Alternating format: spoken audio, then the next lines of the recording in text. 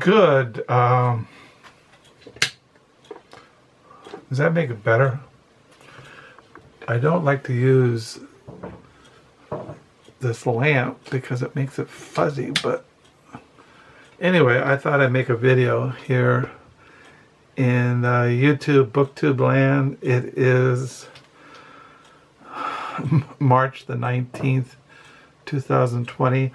I am once again in my main study, as you can see. On the wall, you see a poster of Jack Kerouac and that little phone, that little thing but is uh, James Joyce. So,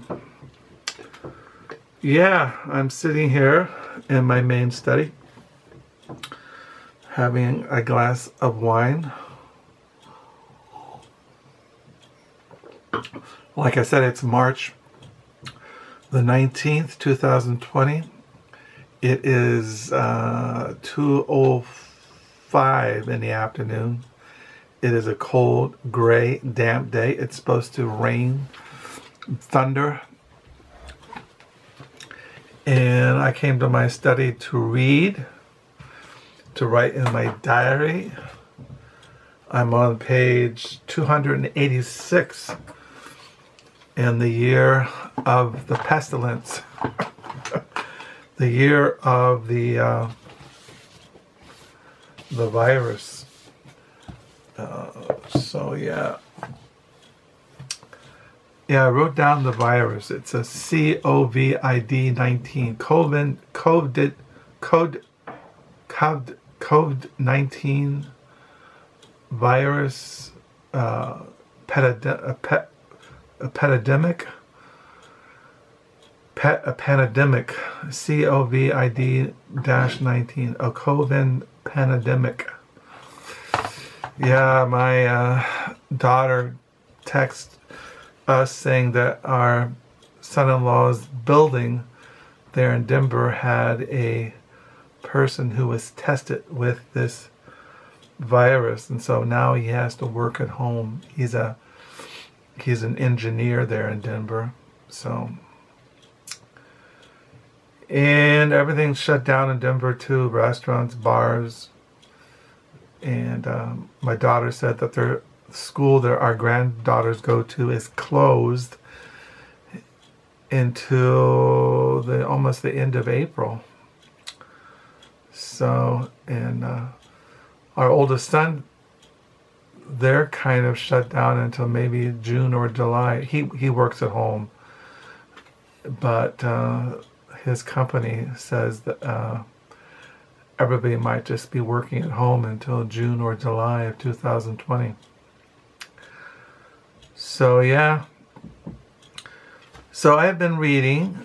Uh, I I mentioned I got this book in the mail a, couple weeks ago, the Eye You See was selected nonfiction by Robert Stone, edited by Mason Smartt Bell.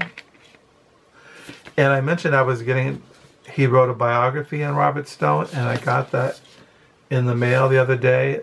The Child of Light, a biography of Robert Stone by Mason Smartt Bell. So I've been reading this pretty steadily, but I also been reading this and today, this afternoon, I start reading a short story in this collection of short stories by Robert Stone, Bear and His Daughter Stories. It mentioned that uh, when he's writing this biography, he quotes from his writings, Robert Stone's writings, refers to them and quotes quotes them. And he quoted in what I was reading last night, a short story in here which I can't pronounce. It's in Spanish, but it's this short story. It's I don't know if you can see it, but um, so I've been reading that. It's a very short story. I'm almost done with it. I think I got oh, but six more pages. So I'm reading that this afternoon. I thought about showing you my Robert Stone collection of books because I keep them here in my main study. And what I'm going to do is I'm just going to lift this camera up into the top bookshelf of this bookcase in my study and show you my Robert Stone books. I gotta make some room. so this is the Robert Stone collection up here. Let's see up here is uh, like you have this is a memoir written by uh, Robert Stone Prime Green Remembering the 60s by Robert Stone there's a picture of him when he's younger there's a picture of him with Ken Kesey and the bust you know the bust you know, the Merry Pranksters, you all know that story. And there's his novels, all of them. You have Children of Children of Light, Damascus Gate, uh, Dog Soldiers, uh, Outerbridge Reach by Robert Stone. They're not there. And then you have a flag for sunrise that one. And then you have Bay of Souls. And then Robert Stone, Dog Soldiers, and Hall of Mirrors. And then up there is his last novel, Death of the Black Haired Girl. He wrote this right after he, I think it was his last novel that he wrote before he passed away by Robert Stone. I also have a short story collection by Robert Stone fun with problems. So that's my Robert Stone collection up there. Up there is Proust's letters, some biographies of Proust, his works, and uh, so yeah, there's James Joyce, the Dubliners, the portrait of the artist as a young man in chamber music there. See, James Joyce. So yeah. So this is my, uh,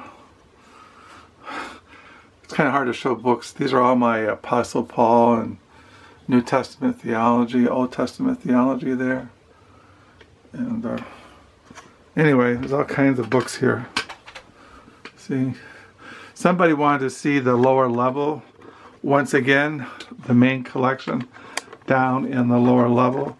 But that would, one thing about the lower level library, it's poor lighting and you can't see anything down there.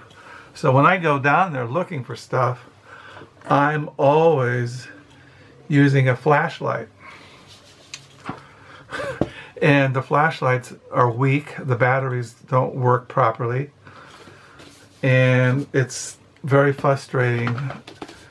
What I should do is someday get somebody, electrician, to put all new lights down there in the lower level so I can see. Plus, books are stacked everywhere, and it's just a total mess. So I would like to show the lower level library, all the books, but it's just a mess. I do, like I said, I keep books in here. Like, uh, I just showed you this thing. This is the last novel, Death of a Black-Haired Girl by Robert Stone. This was first published in 2013. I think he died in 2015, if I remember correctly. Let me see if it's here, back of here. Yeah, he was born in 1937 and he died in 2015. Robert Stone was the acclaimed author of eight novels, two short story collections, and a memoir. His novel Dog Soldiers won the National Book Award, and his collection of his book, his story collection, Bear and his daughter won the, was a finalist for the Pulitzer Prize. Mason Smartt Bell is the author of 13 novels, including All Souls Rising, which I have out there in my to be read pile, which was a finalist for the National Book Award and the PEN/Faulkner Award two story, two short story collections. He lives in Baltimore, Maryland. So yeah, I've been reading this, The Child of Light, a biography of Robert Stone by Mason Smartt Bell. I've read oh, 126 pages. reading a short story here by Robert Stone in his short story collection, Bear and his daughter. Yeah, I found this, his other collection of short stories, Fun with Problems. I found this at uh, Salvation Army a couple of months ago. I didn't know it existed. I mean, I didn't pay much attention to it. So that's what I've been reading since my last video, listening to this Evoken on my portable CD player. I sit in here in my main study. I put on my headphones and I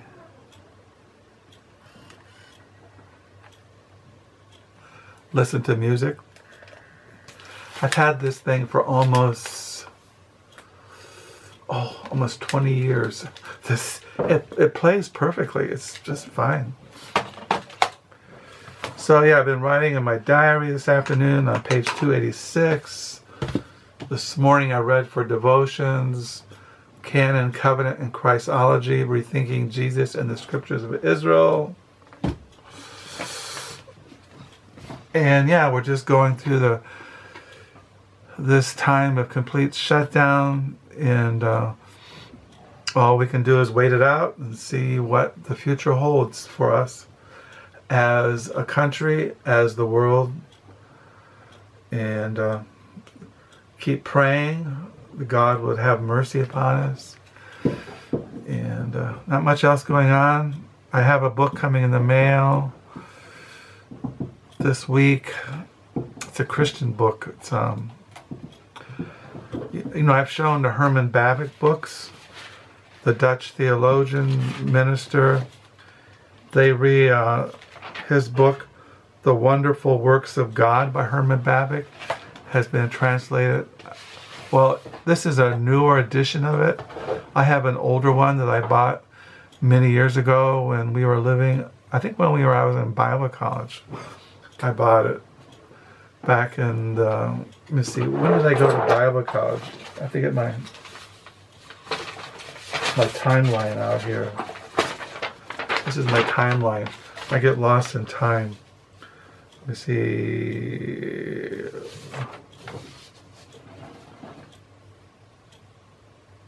Uh, 1978, left Richmond, California to finish college in Grand Rapids, Michigan at Reformed Bible College, which is now Kuyper College. 1978, I was 26 years old. 1979, Carol and I got married on May the 19th, I was 27 years old. Carol said, this coming May, we've been married 41 years. In 1981, I graduated from Reformed Bible College, Kuyper College.